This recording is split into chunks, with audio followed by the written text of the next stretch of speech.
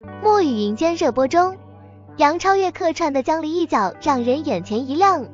虽镜头不多，却足以让观众记住她的每个出场细节、肢体动作，都洋溢着别样的氛围和情感，给人留下深刻印象。那场戏简直绝了，江离一袭素衣，眼里泪光闪烁，活脱脱一个命运多舛的小白花，既无助又坚强，这形象让人心醉神迷，难以忘怀。他的成长轨迹清晰可见，这位新星从舞台跃上荧屏，正以自己的方式悄然绽放。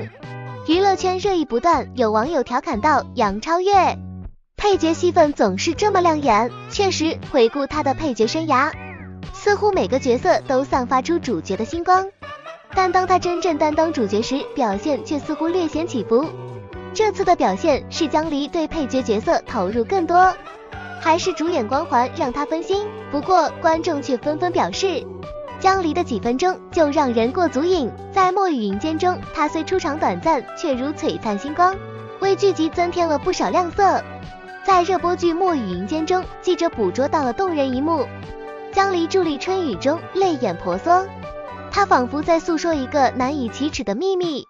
梨花般晶莹的泪珠滑落，美得令人心生怜悯。在热播剧中，杨超越的表现真是让人叹为观止。她既是娇艳的梨花，又似沧桑的枯枝，在极致的悲凉中绽放着唯美之光。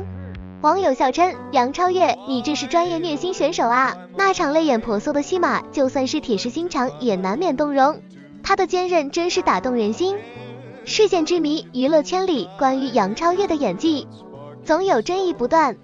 有观众指出，她的眼神显得空洞，似乎未能完全沉浸在角色中。观众所见的不仅仅是角色的塑造，更是他自身状态与情感的展现。不过话说回来，这种看似空洞的表演风格，或许正是他独特的艺术探索。尽管在短暂的亮相中，他给人留下深刻印象，但剧情深入后，他能否持续展现这种魅力，还真是让人好奇呢。角色与观众的挑战，杨超越每次亮相荧屏，无疑都给观众带来新奇的挑战。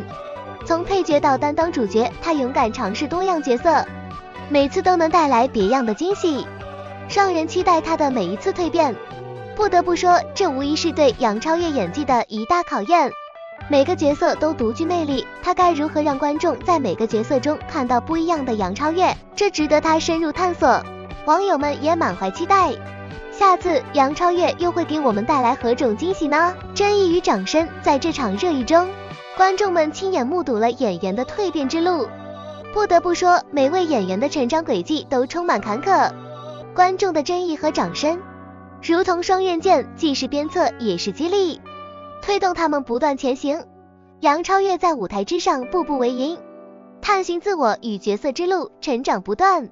他的演技如何？你是拍手称赞，还是心存疑虑，或是满心期待？快来说说你的看法，让我们一同探讨吧。